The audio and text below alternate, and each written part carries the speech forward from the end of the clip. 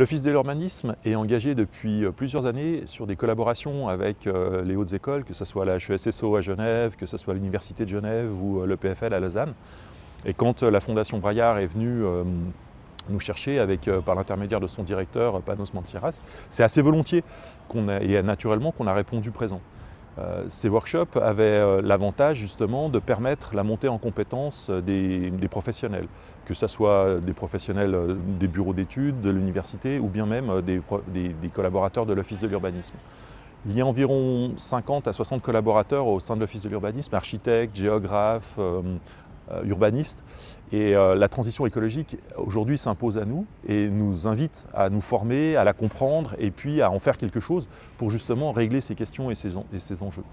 Et du coup, les, workshops nous permettent à la fois de faire monter en compétence des collaborateurs de l'Office qui ont participé, hein, et je crois qu'il y a eu 4 ou 5 personnes qui ont participé au workshop, mais aussi les autres professionnels. Et puis en même temps, ça nous permet de réfléchir, de conceptualiser un peu, d'animer euh, le débat autour de cette question de la transition écologique. Et puis euh, ça nous permet aussi d'étudier des sites euh, genevois et puis d'imaginer des solutions.